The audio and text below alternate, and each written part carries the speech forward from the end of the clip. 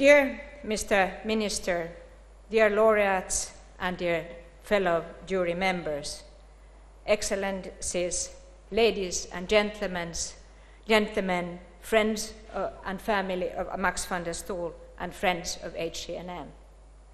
I thank you very much for the previous film.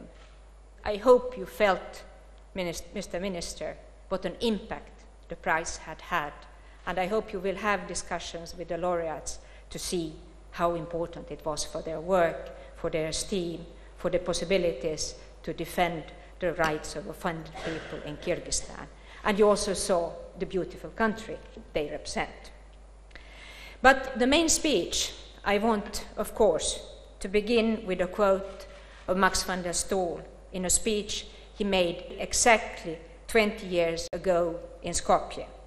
I quote States must have an open uh, eye for longer term developments with a view to anticipating future crises and not only pay attention to already existing conflicts. It's never too early for a realistic assessment of worrisome developments. If we, we devote our attention only to the wars of today, we will have reasons to mourn to again tomorrow. I feel this quote is appropriate on the United Nations Day to remind us of the deep felt convictions of the man we honor today. Keeping to the spirit of Max van der Stoel, we should not forget prevention, even in times of horrible suffering, among others in Aleppo, in Mosul, in Haiti. And, dear friends, certainly this spirit of early prevention and of the need to work with young people to create the conditions for a peaceful society is the underpinning conviction of the people we have the pleasure to award today. I wish to express my, also I wish to express my gratitude to the Dutch Ministry of Foreign Affairs for having once more entrusted the HCNM and my fellow jury members to find a worthy winner of this year's award. I also wish to express my utmost appreciation of them, the other jury members, for their devoted work. I'm very happy to see Professor Hoffman, Professor Omen, and Director Verhovsky among us today. Maybe you could rise up.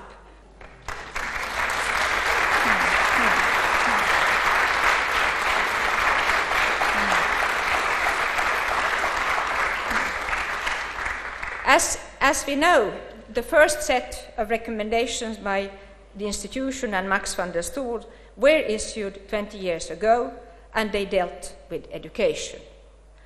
Also, therefore, it is fitting in the spirit of his legacy uh, that this year's awardee works, works in the field of education, as we have heard. The winner of the 2016 Max van der Stoel Award is thus an NGO with a clear vision and conviction, placing education at the core of integrating diversity. The Association of for Historical Dialogue and Research, AHDR, as we say, teaches history and bridges communities on the shared and divided island of Cyprus. When studying the work of AHDR, I was also reminded of the words of Max van der Stoel. He said, A society at peace with itself is a society that can concentrate on issues of common interest, benefiting all citizens.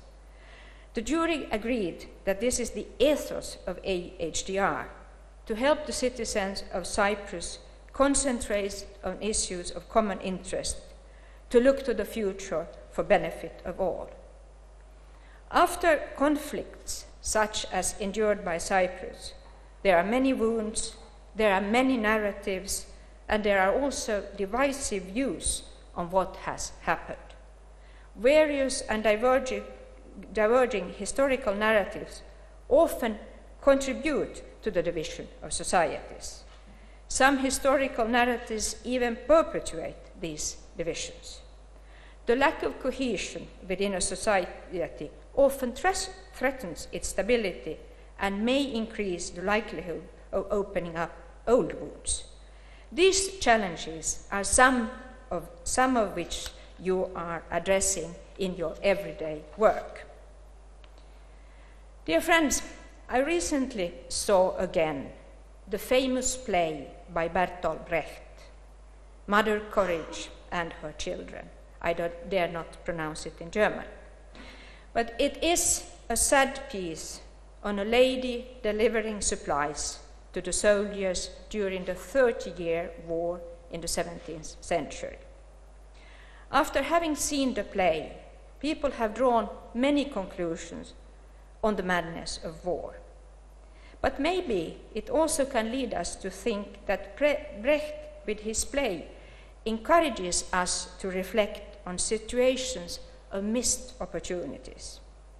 Where there are tragedies, where there is also a way out, but no one takes it, is often the case. No one takes it.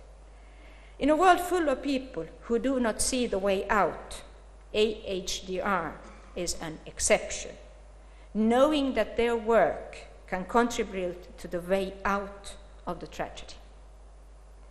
Dear friends, in many countries of today's Europe, there is a need for a deeper understanding on how to build multicultural and intercultural societies.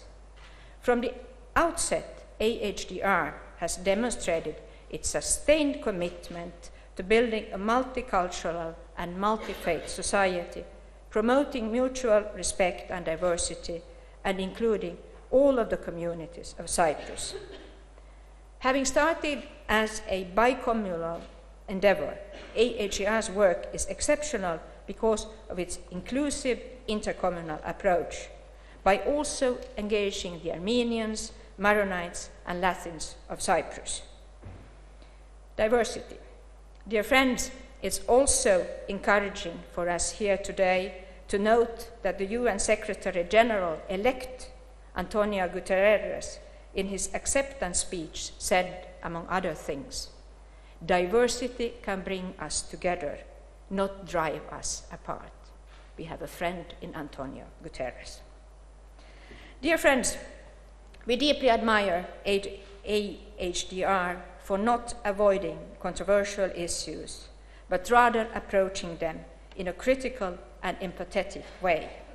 In order to do so, they provide access to learning opportunities for individuals from different ethnic, religious, cultural, and social backgrounds, including also teacher training sessions, cultural excursions, seminars, and conferences. And you have developed a range of supplementary teaching materials in order to help inter alia address the legacies of a violent past. Today, more than ever, this kind of approach is needed in the OSCE area.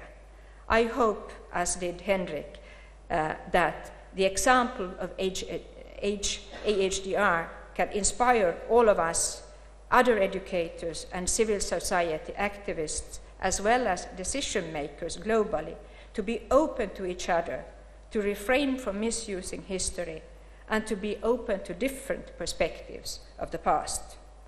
With these words, dear friends, I wish, on behalf of the jury, to congratulate you, Alev and Kyriakos, and the whole of your team. And now we will learn more about you because I will invite you to watch the next film on the today, today's awardees' work.